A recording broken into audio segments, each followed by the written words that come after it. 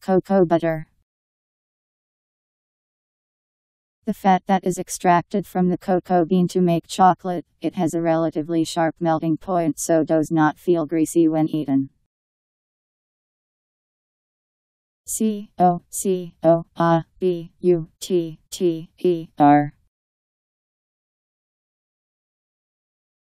Cocoa butter